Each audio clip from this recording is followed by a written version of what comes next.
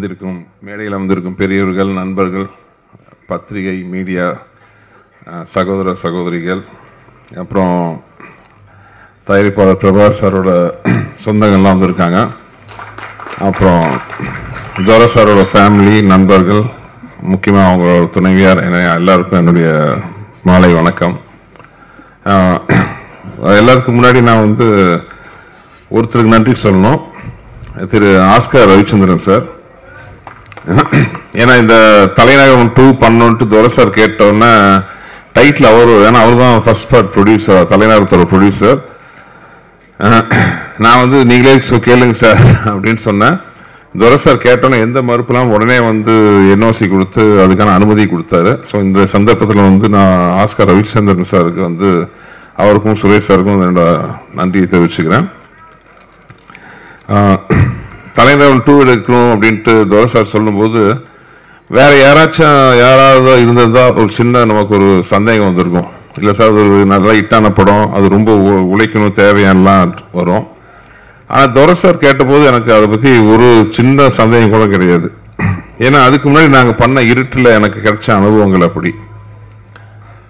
இருட்டு படம் பார்த்தீங்கன்னா அது பிறந்த கதையே பார்த்தீங்கன்னா ஒரு விசித்திரமான கதை தான் விசித்திரமான மனிதனால் வந்த படம் அது. விடிவி கணேஷ்.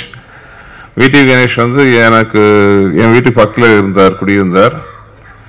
டெய்லி வந்து போட்டு நச்சுவார். தலைவா ஒரு படம் பண்ணணும் படம் பண்ணணுன்ட்டு நான் இவரை அவாய்ட் பண்ணுறக்கா என்ன சார் இப்படி- என்ன சார் நான் வேற என் டைரக்ஷன் இதெல்லாம் பிஸியாக போயிட்டு இருந்தேன் அப்புறம் இவர் எங்கே படம் பண்ண ப்ரொடியூஸ் பண்ண போகிறாருங்கிற ஒரு சின்ன ஒரு அவநம்பிக்கையும் இருந்துச்சு.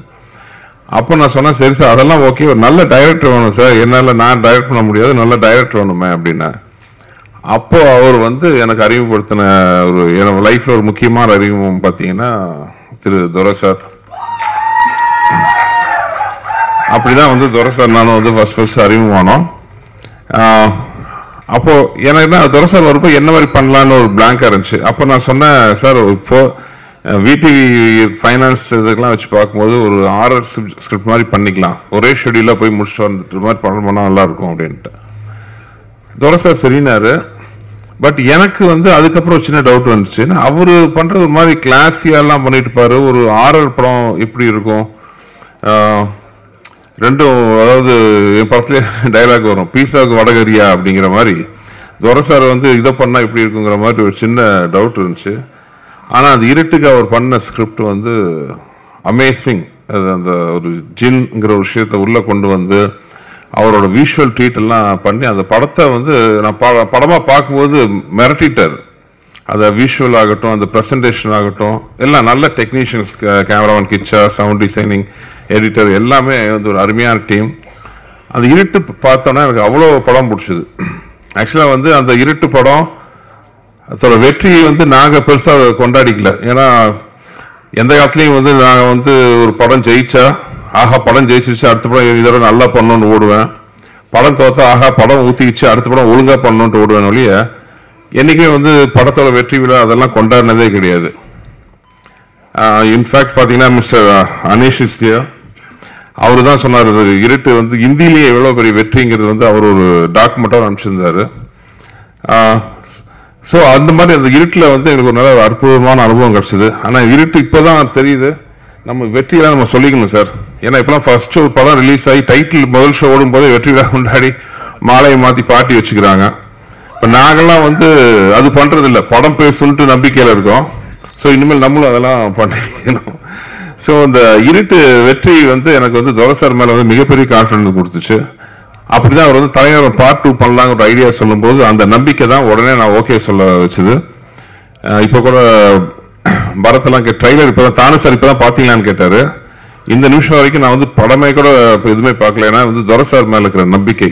வேற ஏதாச்சும் படம் வேற ஏதாவது டைரக்டரா இருந்திருந்தா படம் பண்ணும்போது அடிக்கடி போட்டு பார்ப்போம் கரெக்ஷன்லாம் சொல்லுவேன். துரை வந்து நான் கதையே கேட்கல. ஏன்னா அவர் மேல எனக்கு இருந்த நம்பிக்கை அவ்வளோ ஒரு நம்பிக்கை. ஒரு நல்ல டெக்னீஷியன் ஏன்னா எப்பவுமே வந்து எனக்கு இந்த சில படங்கள்லாம் பார்க்கும்போது தோணும். சில இயக்குனர்கள் சில ப்ரொடியூசர்ஸ் எல்லாம் பார்த்து பார்க்கும்போது ஒரு நல்ல சினிமா மேல பேஷனாக இருக்கிற ப்ரொடியூசர்ஸுக்கு ஒரு நல்ல ஒரு டைரக்டர் கிடைக்க மாட்டாங்க. நல்ல ஒரு சினிமா தான் வாழ்க்கை சினிமா மேல அவ்வளோ காதலோடு இருக்கிற இயக்குநர்களுக்கு ஒரு நல்ல ப்ரொடியூசர்ஸ் கிடைக்க மாட்டாங்க. துரை சார் பார்க்கும்போது எனக்கு ரொம்ப ஃபீலிங்காக இருக்கும். ஐயோ ஒரு நல்ல ப்ரொடக்ஷன் எல்லாம் கிடைச்சா என்ன மாதிரி சூப்பராக பண்ணுவாருன்ட்டு. ஆனால் நல்ல விஷயமா வந்து அவரே வந்து தயாரிப்பெல்லாம் இந்த படத்துக்கு அறிமுகமாயிருக்காரு. அவருக்கு வந்து பெரிய சப்போர்ட்டாக இருந்த பிரபா சாருக்கு என்னுடைய நன்றி. ஸோ ஒரு ப்ரொடியூசர் அவரே டைரக்டராக இருக்கும்போது படத்தை எந்த ஒரு காம்ப்ரமைஸ் எல்லாம் பெருசாக பண்ணுவாங்கிறது ஒரு டைரக்டர் ப்ரொடியூசராக எனக்கு தெரியும்.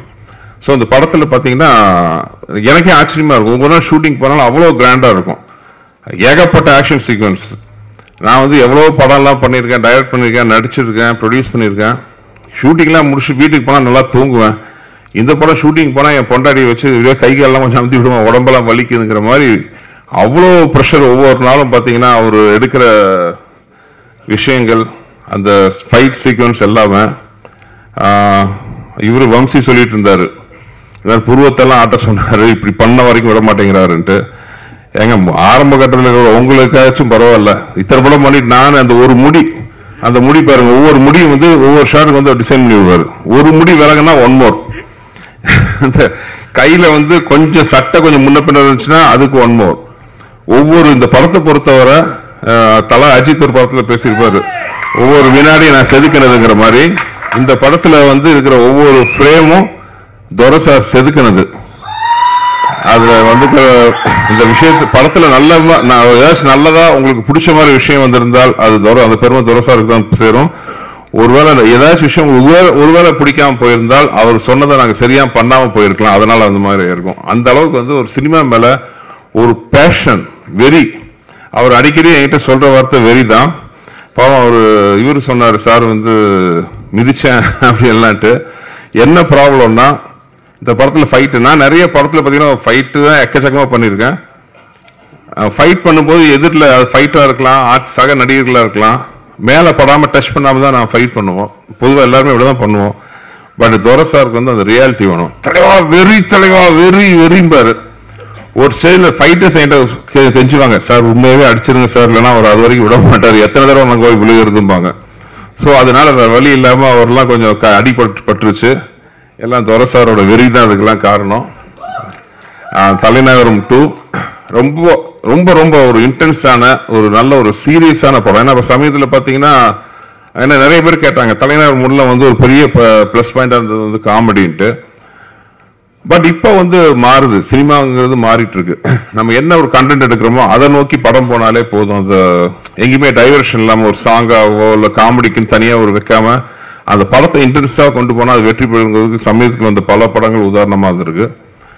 அந்த வகையில் வந்து கண்டிப்பாக தலைநகரம் டூ படம் பிகினிங் டு எண்ட் அப்போ ஒரு இன்ட்ரெஸ்டாக இருக்கும். ஏன்னா நான் கதையை வந்து ஒரு ஸ்டேஜில் வந்து லைனாக சொன்னார் துரை சார் ரொம்ப இன்ட்ரெஸ்டிங்காக இருந்துச்சு. அதாவது சம்மந்தம் இல்லாமல் ஒரு நாலு கேங்ஸ்டர்ஸ் சம்மந்தம் அவங்களுக்கு சம்மந்தமே இல்லாத ஒரு பழைய ரவுடி. இவன் வாழ்க்கையில எப்படி இவங்க நாலு பேர் குறுக்குறாங்கன்ற அந்த நாலு பேர்ல என்ன விஷயம்னா நிறைய பேர் நான் சந்திக்கவே இல்லை படத்தில். அந்த மாதிரி ஒரு ஸ்கிரீன் பிளே ரொம்ப இன்ட்ரெஸ்டிங்காக பண்ணியிருந்தாரு. அதே மாதிரி அவரோட கான்ஃபிடன்ஸ் இந்த படத்தோட வெற்றியில. ஏன்னா படத்தில் அப்பப்போ நான் என்னோட ஒரு மனைவி கேரக்டரை பற்றி பேசுவேன். ஸோ அது ஃப்ளாஷ்பேக்லாம் இருந்துச்சு இருக்குது சரி ஷூட் பண்ணுவார் அதுக்கு ஒரு பெரிய ஹீரோயின் வர போகிறாங்க அப்படின்ற ஒரு இதில் இருந்தேன்னா திடீர்னு ஒரு நாள் ஷூட்டிங்லாம் முடிஞ்சிருச்சுனாரு என்ன சார் முடிஞ்சிருச்சு? அந்த ஃப்ளாஷ்பேக் தலைவர் அது செகண்ட் பார்ட்டுக்குனாரு ஸோ கண்டிப்பாக வந்து இந்த படத்தோட வெற்றியில் அவருக்கு அவ்வளோ நம்பிக்கை இருக்குது அவர் கூட ட்ராவல் பண்ண அவர் கூட இணைந்து பயணிச்ச எனக்கும் அந்த நம்பிக்கை கண்டிப்பாக இருக்குது ஸோ தலைநகரம் டூ வந்து எனக்கு அந்த அரண்மனை மாதிரி தலைவர் டூ த்ரீ ஃபோர்னு துரச டைரக்ஷனில் போகணுன்ட்டு அடிக்கடி அவர் சொல்லுவார் எங்கிட்ட நீங்கள் கும்புற முருகனும் நான் கும்புற அல்லாம துணை பண்ணுவாங்கன்ட்டு. அவங்கள வேண்டி வாங்கிக்கிறேன். அப்புறம் இந்த படத்துக்கு வந்து ஆஹ் திரு சுப்புலட்சுமி மூவிஸ் திரு விவேகானந்தர் சார் வாங்கியிருக்காரு. ஒரு சீனியர் மோஸ்ட் இன்னைக்கு தான் சந்தித்தேன் ஒரு சீனியர் மோஸ்ட் தயாரிப்பாளர் விநியோகஸ்தர் பெரிய வியாபாரத்தில் கொடி நாட்டினவர். அவருக்கு இந்த படம் பெரிய வெற்றி அமைஞ்சு இந்த மாதிரி நிறைய படங்களை அவர் வந்து வாங்கி பல பேருக்கு வாழ்வு அளிக்கணும்ட்டு கேட்டுக்கிறேன். அப்புறம் இன்னொரு முக்கியமான மென்ஷன் திரு மது நண்பனுடையான் படைக்கஞ்சான்ங்கிற மாதிரி வந்து துரசாருக்கு ஒரு ரைட் ஹேண்டாக வந்து பல டென்ஷனை தாங்கிட்டு ஒர்க் பண்ண மது கூட கேமராமேன் கிச்சா ஒர்க் பண்ண எல்லா டெக்னீஷியன்ஸ்க்கும் எனது வாழ்த்துக்கள். இந்த படத்தில் மாபெரும் வெற்றி அடையணும்ட்டு நீங்கள் எல்லாம் வந்து உங்களுக்கு சப்போர்ட் பண்ணணும். நன்றி.